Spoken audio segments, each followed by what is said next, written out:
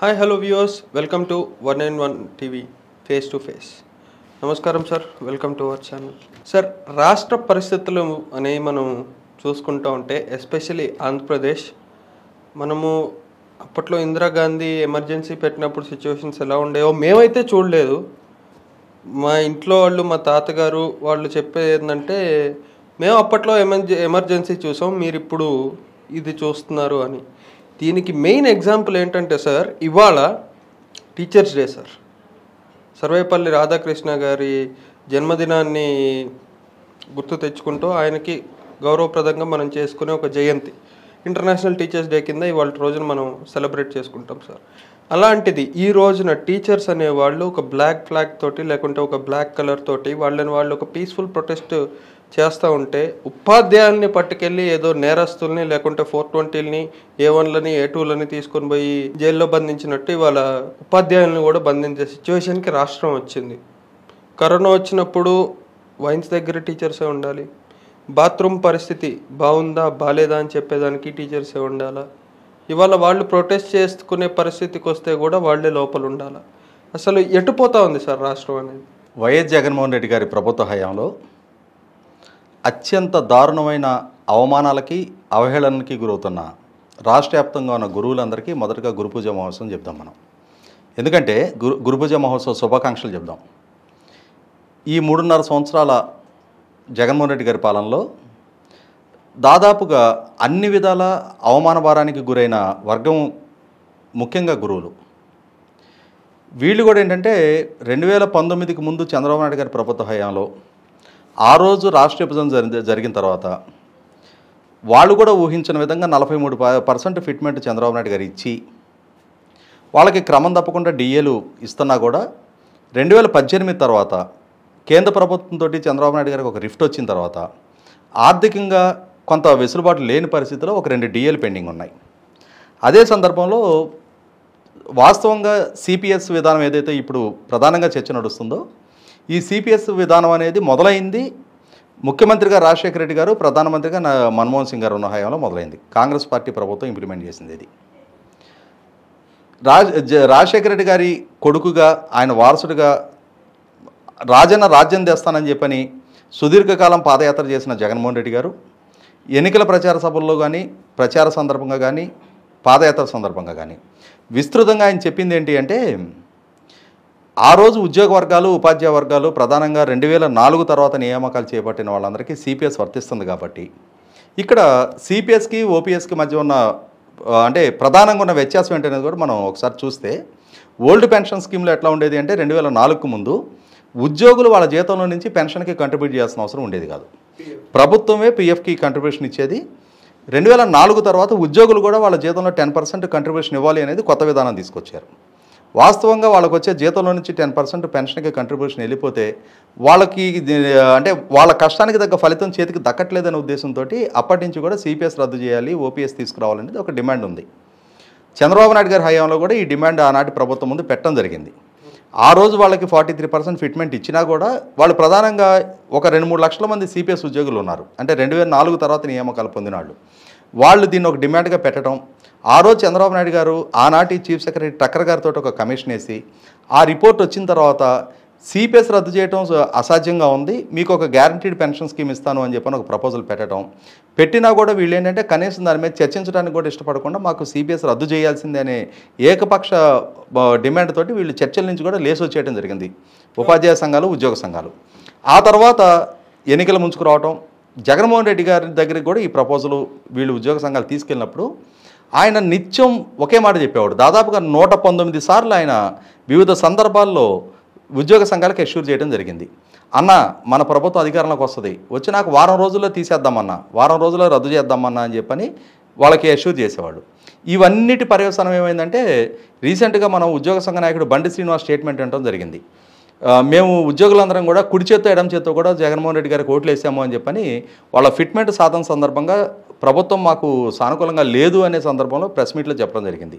అంటే ఏంటంటే ప్రధానంగా ఎన్నికల విధుల్లో ఉండే ఉద్యోగ వర్గాలు ఉపాధ్యాయ వర్గాలు కూడా నూటికి నూరు పళ్ళు జగన్మోహన్ రెడ్డి గారి గెలుపులో తోడ్పాటు అందించినాయి.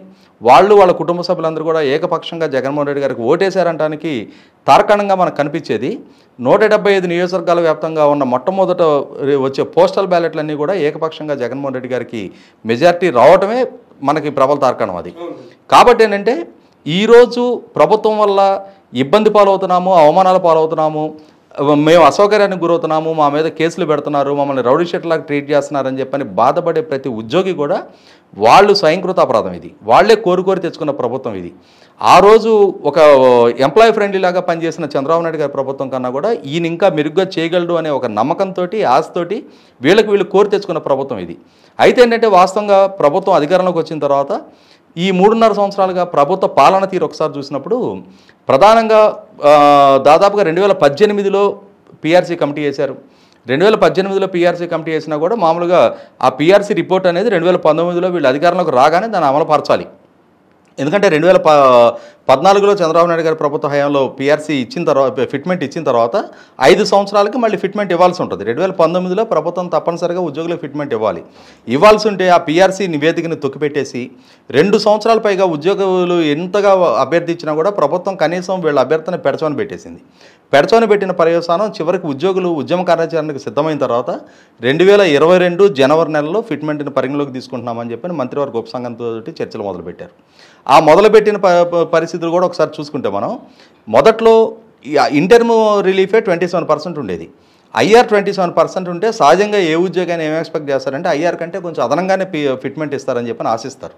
అటువంటి దగ్గర ఈ ప్రభుత్వం అధికారంలోకి వచ్చిన తర్వాత రెండున్నర సంవత్సరాలు దాదాపుగా మూడు సంవత్సరాలు గడుస్తుండగా అప్పుడు ఫిట్మెంట్ బయటికి తీసి ఈలోగా చీఫ్ సెక్రటరీతో ఒక కమిటీ అపాయింట్ చేసి పీఆర్సీ కమిటీ నివేదిక గురించి అసలు చర్చకు కూడా రానియకుండా ఆ రిపోర్ట్లో ఏముందనేది కూడా బయట ఉద్యోగ వర్గాలతో చర్చలు జరపకుండా ఆ వాస్తవాలు కూడా బయటకు తెలియనియకుండా chief secretary committee fourteen point two nine percent recommend చేసింది అని చెప్పని దాని ప్రాతిపదికగా చర్చలకు పిలిచారు. అక్కడ ఉద్యోగులందరూ కూడా ఎదురు తిరగడం జరిగింది. వాళ్ళు ద ఉద్యమ కార్యాచరణ తీసుకున్నారు. జనవరి ఇరవై నాలుగో తారీఖు రోజు ప్రభుత్వానికి సమ్మె నోటీస్ ఇచ్చారు. సమ్మె నోటీస్ ఇచ్చిన దృష్ట్యా అదే రోజు రాత్రి అంటే ప్రజల దృష్టిని ఉద్యోగుల సమ్మె నుంచి దృష్టి మరల్చడం కోసం అదే రోజు రాత్రి పదమూడు జిల్లాలను ఇరవై ఆరు జిల్లాలుగా విభజన చేస్తా ఒక నోటిఫికేషన్ తీసుకొచ్చి అంటే ప్రజల దృష్టి మొత్తాన్ని కూడా జిల్లాల విభజన మీదకి మళ్ళే విధంగా ప్రభుత్వం ఒక కుట్రపూరిత కోణం తీసుకుంది. సిచ్యువేషన్ వచ్చింది కాబట్టి అడుగుతున్నాను. సార్ ఈ జిల్లాల పెంపకం ఏదైతే ఉందో ఎన్టీఆర్ జిల్లా ఇస్తానని జ జగన్మోహన్ రెడ్డి గారు ఎప్పుడో చెప్పారు.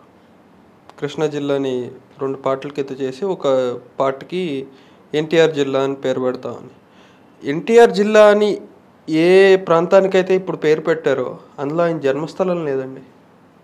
ఇది ఇప్పుడు వరకు చాలామంది ఎక్కడ గమనించినట్టు నాకు అనిపించలేదు అండ్ ఎక్కడ ప్రస్తావించింది కూడా చాలా తక్కువ మంది.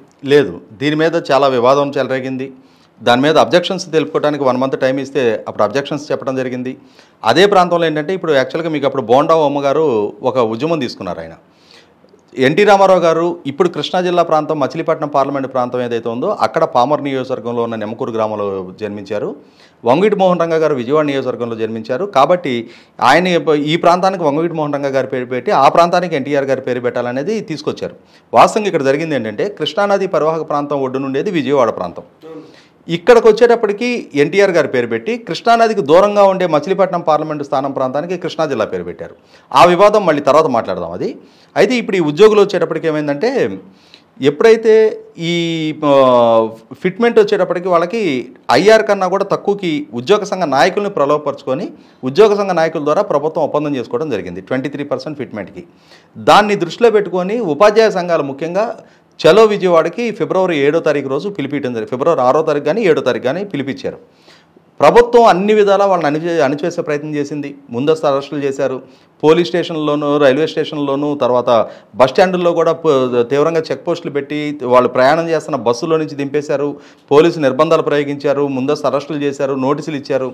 ఎన్ని చేసినా కూడా ఫిబ్రవరి ఆరో తారీఖు రోజు విజయవాడ నగరం బీఆర్టీ రోడ్ అనే దాన్ని ముట్టడించి లక్షల మంది ఉద్యోగులు అక్కడ సమీకృతం అవడం జరిగింది. ఇది చూసిన దగ్గర నుంచి కూడా ఏంటంటే ఉపాధ్యాయుల మీద ముఖ్యంగా ప్రభుత్వం ఒక కక్షపూరిత ధోరణి ఎంచుకుంది. ఆ కక్షపూరిత ధోరణి ఎంచుకున్న పర్యవసానం అప్పటికే ఎప్పుడైతే వీళ్ళని యాపుల పేరిట వాస్తవంగా చూసుకుంటే కరోనా సందర్భంగా వైన్ షాపుల దగ్గర డ్యూటీలు వేశారు అవమానకరమైన పరిస్థితి. వైన్ షాపుల దగ్గర క్యూలు నియంత్రించడానికి ఉపాధ్యాయులను అపాయింట్ చేస్తారా? వేరే ప్రభుత్వ విభాగాలు లేరా? ప్రభుత్వం మద్యం వ్యాపారం చేయటమే ఒక తప్పు.